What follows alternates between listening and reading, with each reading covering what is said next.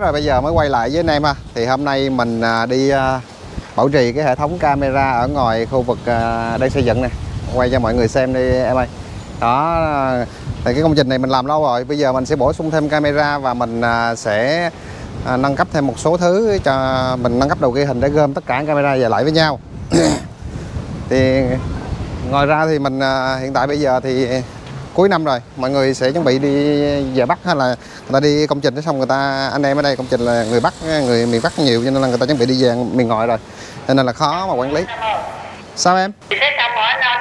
Reset xong rồi em? Ok em từ từ từ từ, từ chờ anh xíu nha. Rồi là cái nói chung là nó rất là rộng và mình à, sẽ bố trí cái hệ thống à, báo động nữa báo động hàng rào tức là ai mà xâm nhập vô khu vực này thì sẽ báo động cho bảo vệ và bảo vệ sẽ chia khu ra và ngoài ra thì hôm nay mình đi cung cấp cái bộ đàm này cho bảo vệ nữa nha mọi người.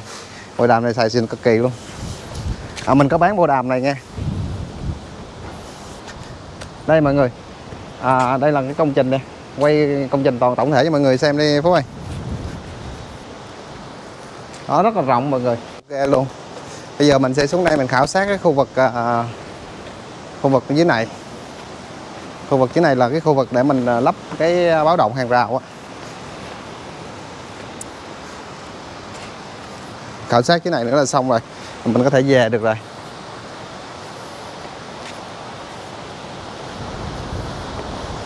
Cái bộ đàm này nó kinh khủng lắm luôn á. Hiện tại bây giờ mình với thằng à, thằng à, thằng thằng hiếu á, nhân viên của mình là cách nhau phải tầm à, hơn gần một cây số luôn á từ bên đây qua tuốt bên kia lận.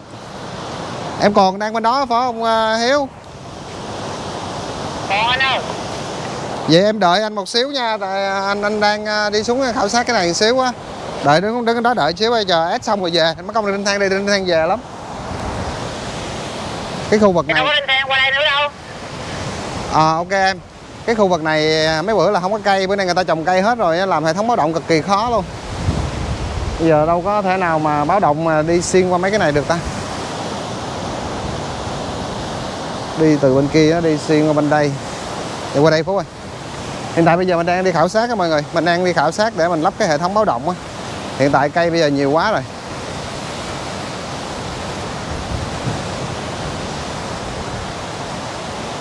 Quá nhiều cây luôn.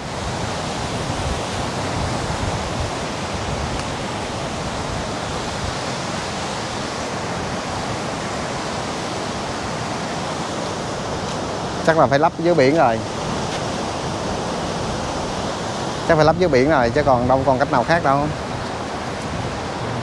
Lắp dưới biển rồi.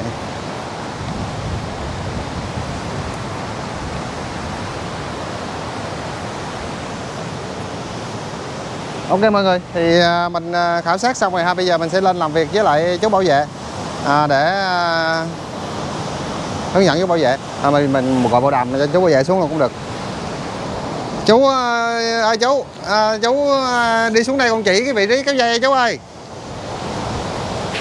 Dưới biển đó chú. Ok bye bye mọi người.